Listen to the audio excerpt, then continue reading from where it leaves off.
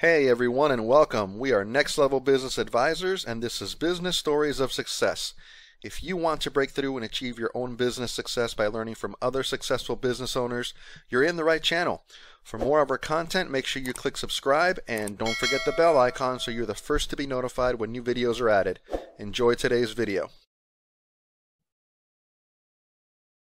Hello, hello, hello. You're with Marc Adams at Next Level Business Advisors. I feel like I'm running out of breath already. I'm here with Jazmyn Whittingham, and she is our uh, amazing youngest entrepreneur that I've ever spoken to on this podcast. Hello, Jazmyn. How are you? I'm doing great. How are you? I'm okay. I'm okay. I'm excited to talk to you because when I heard your story, I was blown away. And I think people will be blown away as well. And if you can do it at your age, then I'm sure some old people like me can do it as well. So let's get into it. Tell us who are you and tell us a little bit about your business. Well, my name is Jazmyn Whittingham. I am I live in Northern Virginia, so I'm home based as a virtual assistant. And basically, what I do is I help small business owners um, take on the tasks or actually I take on the tasks for small business owners that they don't have the time to handle because business owners have a lot to do. Um, so they can focus on their main tasks, um, keeping their services and or products quality, high quality for their clients. And I take care of the behind the scenes stuff that is really important, but nobody really sees. Okay, I love that. I love that. Now, I said, You're the youngest, and I know you're a lady. Is it okay for you to give your age? I know some women say, Never tell her, never ask a woman her age. Well, I'm 17. okay, okay. I, you could have said, like, I'm under 35. I would have taken, okay, so you're 17. So now yes. this is impressive. So you're a 17 year old business owner yourself, right? What yes. role do you play? Well, well, let's get a couple things straight so we can get it all cleaned up. Give us the name of your business and how people can reach you in case they need your help. So the name of my business is Jaz Hands, and then Your Teen Virtual Assistant.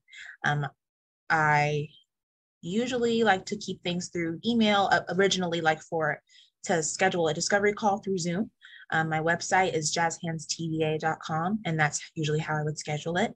Um, I yeah, I definitely don't keep it to phone calls, seeing as I am still a student, so I can't always just pick it up. I like to schedule it when I can.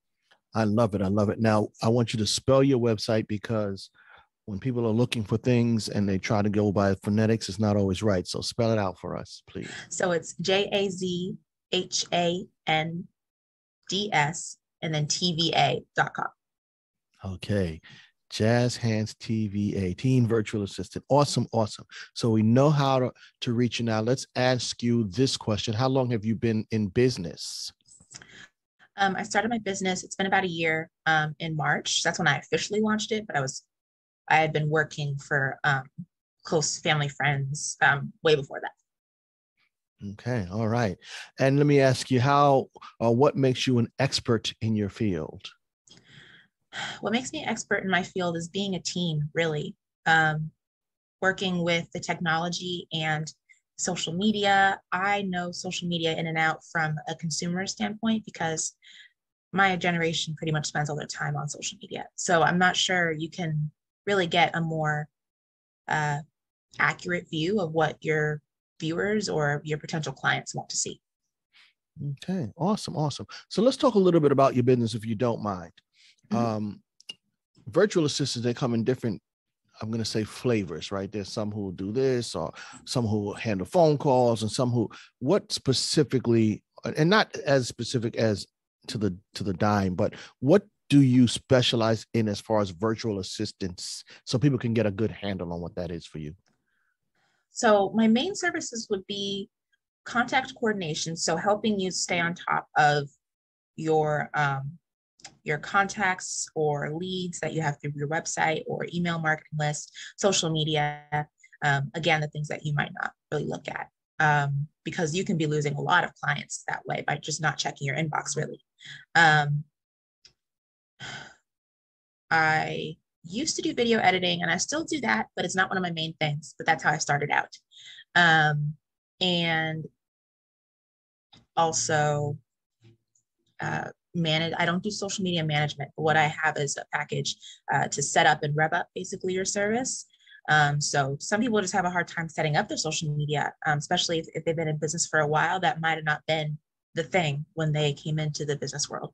So just setting it up and then revving it up, so to speak, getting your followers, getting yourself started so you can feel comfortable. Then I might bring you on to someone else for social media manager.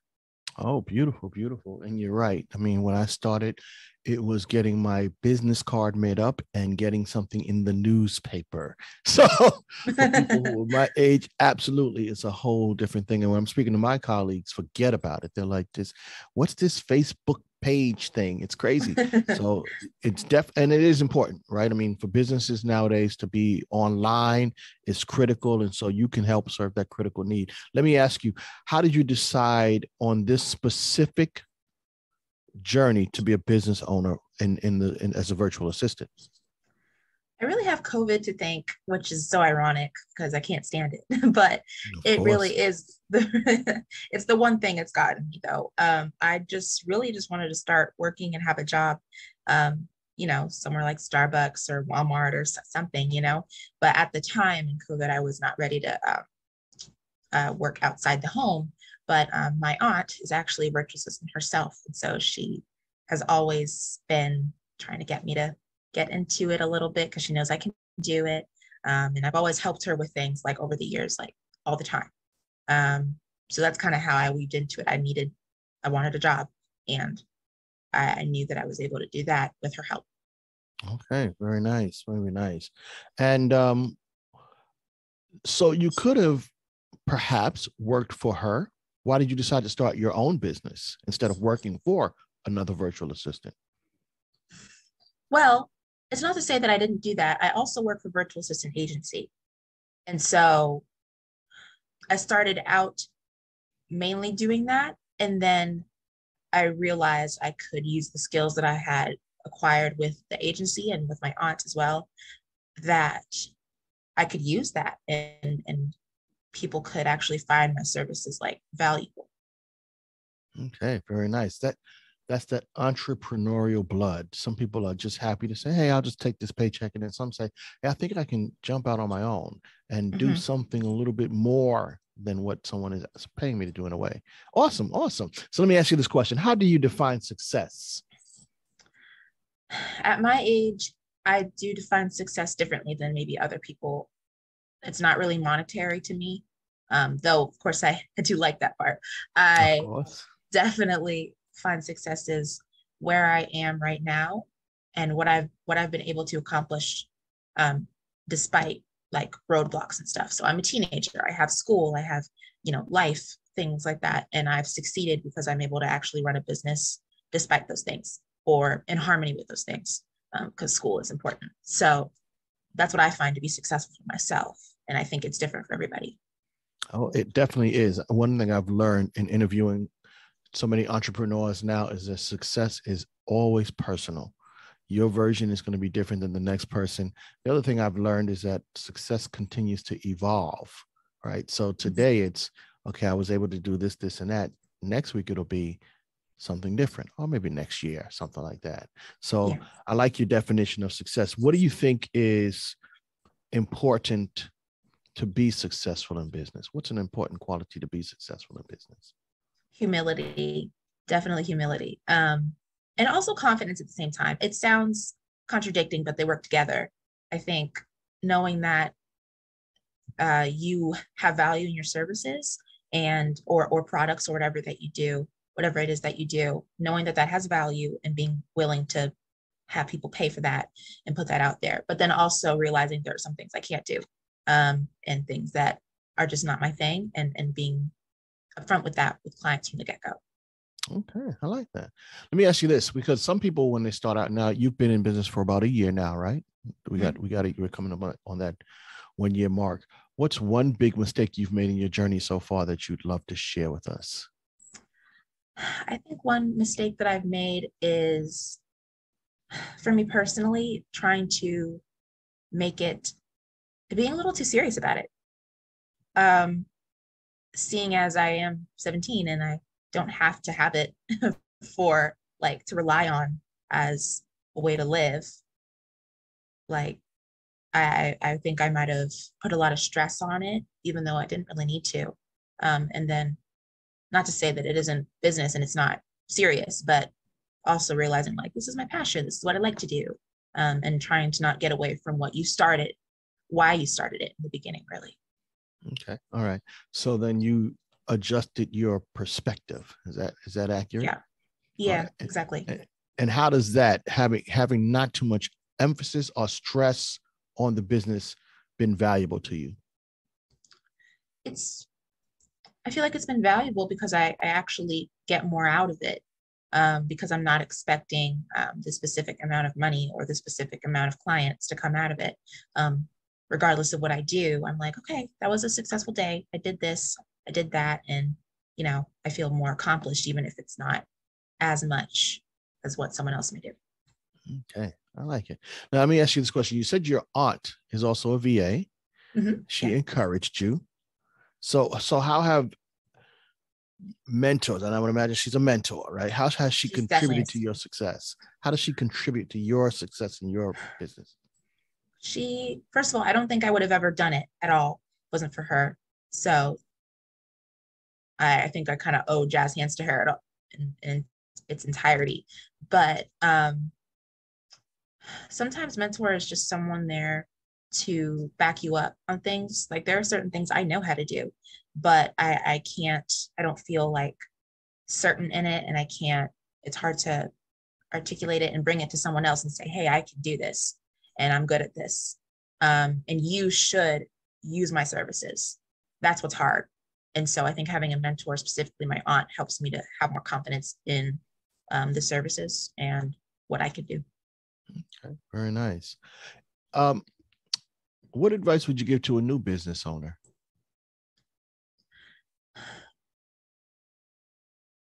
To take it slow. Um, I think uh, everyone's different, but relying on a business for your general outcome in the very beginning usually may not go very well. Um, I know I'm young and I can't speak to that a lot, but I do there is a reason I'm an entrepreneur. I have family members, pretty much all my family that are. And so I learned a lot from them. And so I guess not forget, not remembering or not forgetting why you started it in the first place.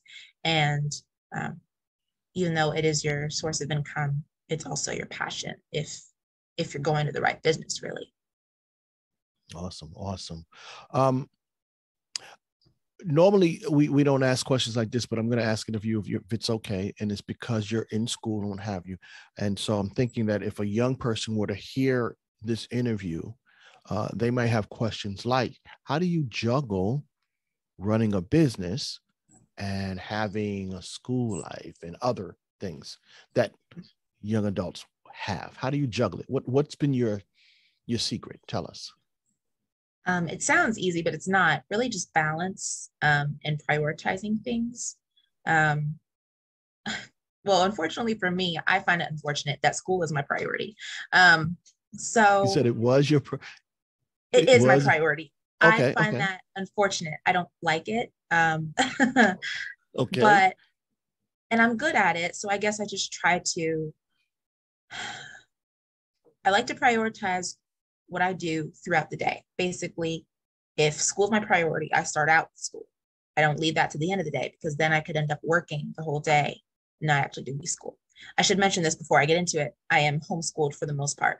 Um, okay. So that's really how it works. Um, and then I go to the public school just for one class that I take that I don't want to take by myself.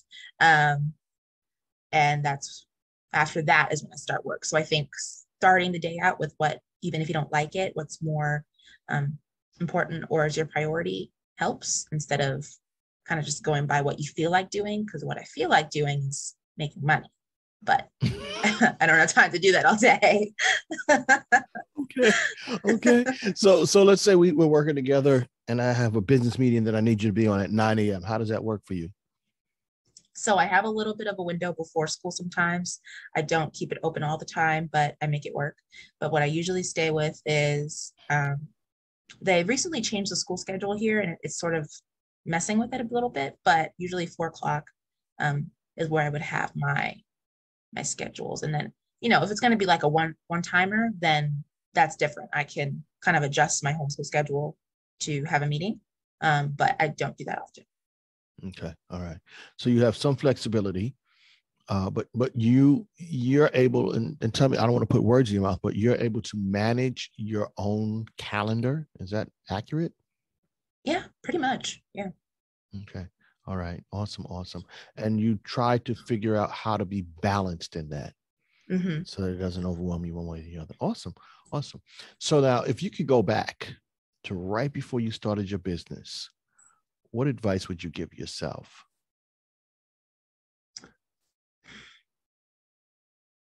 I would probably tell myself that you don't have to um it's kind of like a it will be okay sort of thing.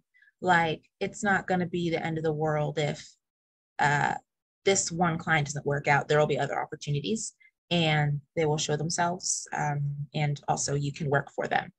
Um I think if I would get a lead in the beginning and it just wouldn't work out, I would just be like, "Oh my goodness, this is the worst thing ever. Why am I even doing this business?" It's like some things just don't work out. Um, and sometimes I look back and it's like probably for the better. Sometimes, Mm, uh, you know, it depends. So that, that's what I would tell myself. Awesome. Awesome. So what's next for Jaz Hands, your teen VA? Where do you see yourself in the next year or two? I definitely see myself um, with less school. Obviously, I'm in my junior year, so I don't have much left. Um, next year, I barely have anything to do. So focusing on my business a little more will be will open up some opportunities. Definitely wanting to find my niche and like where I fit in the virtual assistant world. It's it's good to start out as a general admin, but you know, I would I would like to narrow it down and know where I fit um, with my clients and finding my ideal client and people I know want to work with me. And yeah, Okay, you're using those uh professional words. Ideal client. That's uh that's something that it took me years to figure out that there's such a thing. Have you ever heard of the Mhm. expression riches and niches? No, No, but I have an idea what it Yeah. is. Yeah. You're you you you're hitting it without even saying it. When you specialize, when you know exactly what you do, it allows Mhm. you to be more effective, more efficient, speak to the right people, easier to get clients. It's, it's riches and niches. So I like what you're saying. And I think that if you keep that up, boy, you're going to have a nice, successful journey. It's going to evolve and it's going to be nice. So, hey, I want to thank you for giving us some time and letting us into your world a little bit. And we look forward to seeing your continued journey to success. Thank you so much for having me. My pleasure.